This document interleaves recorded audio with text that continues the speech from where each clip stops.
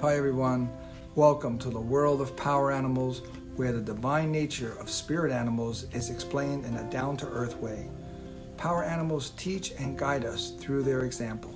Today, we'll look at the monkey power animal. Monkeys and humans share over 98% of the same DNA.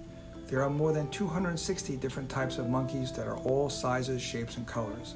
Monkeys inhabit a wide range of environments and are very adaptable. Many dwell in trees, while others live in savannas or mountain areas. Monkeys consume a variety of foods, with fruits making up most of their diet. They are very intelligent and use tools to create nests, defend themselves, and access food and water. Monkeys interact and bond in tight knit communities. They love adventure and are very curious, finding recreation in the smallest things. Monkeys typically work together to take care of the young and enjoy hugging and grooming each other. Monkeys rarely get stuck in old habits as they are constantly learning new things. The ingenious monkey has creative problem solving skills. They examine everything and anything that crosses their path. Monkeys have a fondness for practical jokes, including mimicking the movement and habits of other animals.